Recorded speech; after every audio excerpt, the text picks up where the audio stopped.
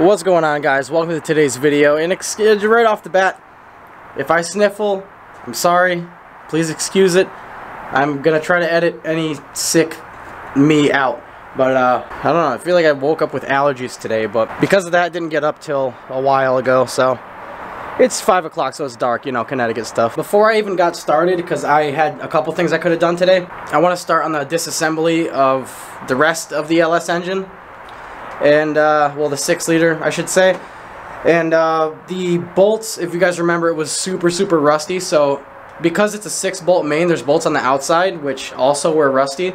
Now I got six of them out but two of them I had to I'll show you I'll show you what I had to do. So I had to come over here also on the agenda. I need to clean all this up and uh, organize or at least take stuff off of that work table over there because we all know I don't have no damn work tables. Put it probably underneath it I don't know I don't care for now um, I'm sick. But got all these out. They're supposed to be 10 mils. I got some of them with nines and some of them with eights and some of them with this. So this one I got out with the welder. And it was funny because it's the same cap. It's a middle cap. And uh, yeah, nothing would fit on it. So I just went ahead and uh, did that. And it worked. So I guess we're doing a disassembly on the 6 liter today junk. I'm gonna go ahead and uh, put this away because I should not be needing this again to take an engine apart. Get myself a little work area and then we'll get started. I don't, I'm, I'm sick. I don't want to clean any of that up. I got this good.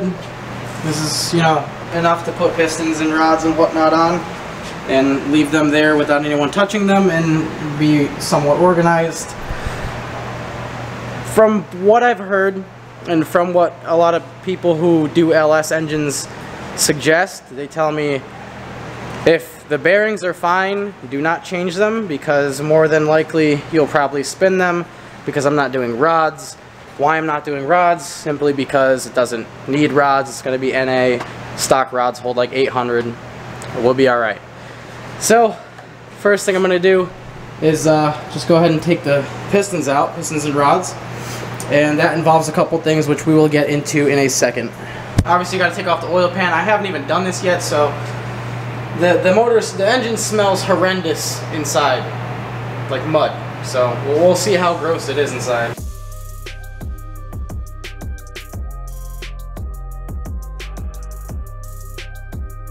So, this looks like a lot of water, oil, and dirt.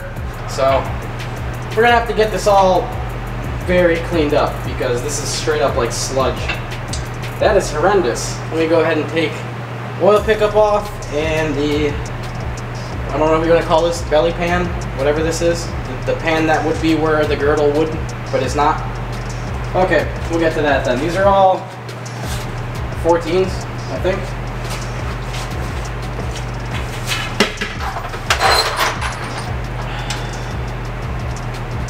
13s. These are all 13s.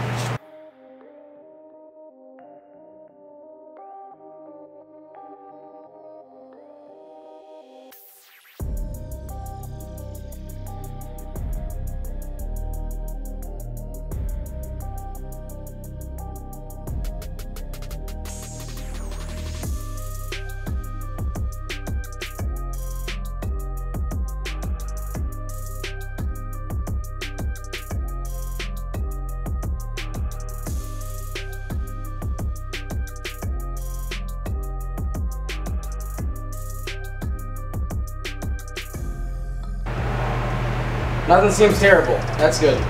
Very nice.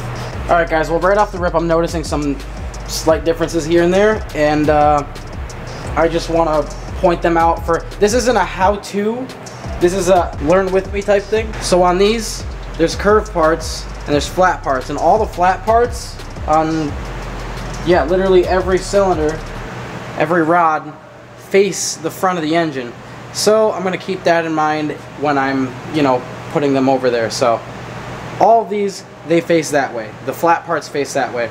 Um, like I said, there's a six bolt main. You have one, two, three, four, five, six, and that's your main cap. So I'm gonna do that. Uh, I'm gonna take all of these main caps off. I probably should have taken the rear main off before I did any of this because I have to, and I didn't. I didn't realize that. But I should be able to get to them fairly easy, even with a ratchet.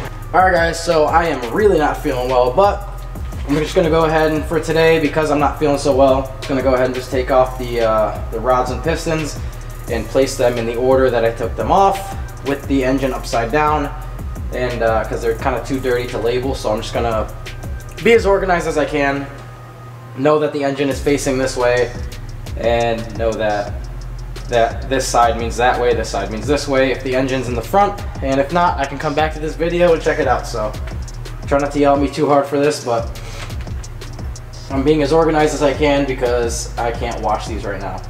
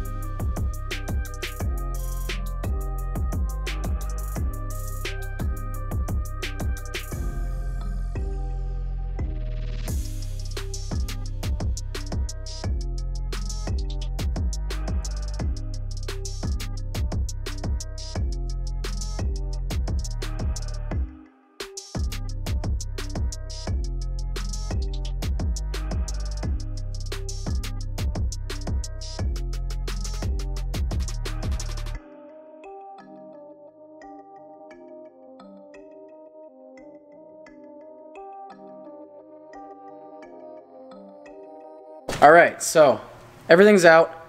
Um, initial impressions. Everything looks good in here. No big score marks or anything. That was a little dirty, but that's just like oil and water mix. Not good, but I'm not gonna clean these off because I don't, I feel like these rust, so I don't want them to, so I'm gonna leave the oil on it for now.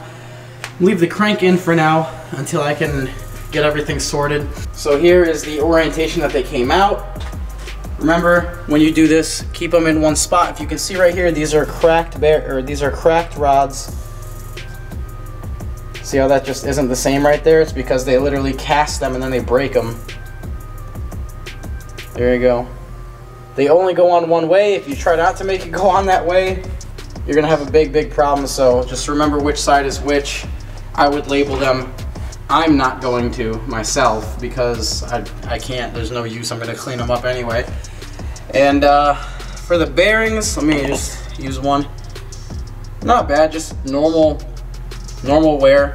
There's nothing I can catch my finger on. It's just, you know, you can see a little bit of scoring there, but it's not, it's nothing, uh, nothing detrimental, and everything looks like it should.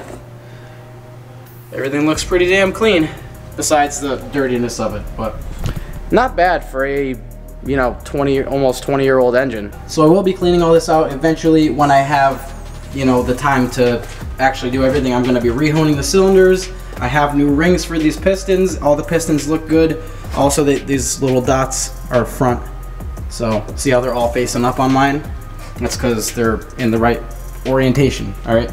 I got a lot of projects. Like I got the Honda project I just ordered some stuff for. I got the Subi project. I need like very minimal stuff to do and then I just have I just need like time and maybe some help. Genuinely some help would would would uh would suffice because swapping these by yourself kind of sucks. Yeah, if you anyways, let me before I forget. You see all these everything looks, you know, pretty straight. Like I said, those are just dirty, but I don't think this thing ever spun a bearing. What they do do after time is they get like that like startup. So I don't know if it had that. I don't know if it had bad lifters. I don't know. But like I said, I have the LS7 lifters here. Brand new. Have everything that I need for this thing. And uh, this is going to go in the Z.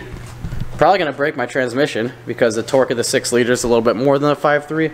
I guess we'll see. I don't know. It's like a $400 transmission. I'll get a new one. But got a lot of projects going on. Got my NAV8 project going on. Um, when I get this engine out, may or may not be putting that in something and boosting it if it is correct for boost. Like if I take out the pistons in this and their serial numbers say like 8 to 1 compression pistons, blah, blah, blah, forge, this and that, whatever, um, then I will in turn put it in. I will put it in something. I don't know what, but I'll put it in something, put a giant turbo on it, and uh, we'll go from there. Like I said, NA V8, possibly soon to be turbo V8, not soon, but when I get another vehicle. I don't want to I don't want to stack up 15 vehicles, guys. I want to have every vehicle that has a purpose. If I put this in something, I don't know, maybe it'll be like a friggin' a truck or something and I'll like give it away. I don't know. I, I just, I, I don't want to have 80 vehicles. Everything, I, I want to have things that have purposes. So then I'll have my turbo all-wheel drive. Then I don't know what I'm to do with, but I'm, I'm to have a turbo all-wheel drive. I'll have the turbo front-wheel drive. I'll, I'll have the fast boy. Jeez, guys, I got to go to friggin' CVS. I got to go get some allergy meds. this sucks, but I'm clocking out for the day, guys. Peace out. See you next time. Like, comment, subscribe. You guys know the business. One like equals one respect for your boy's health. Help your boy get better. It won't actually help, but it'll make me feel better. I'll see you guys next time. Peace out.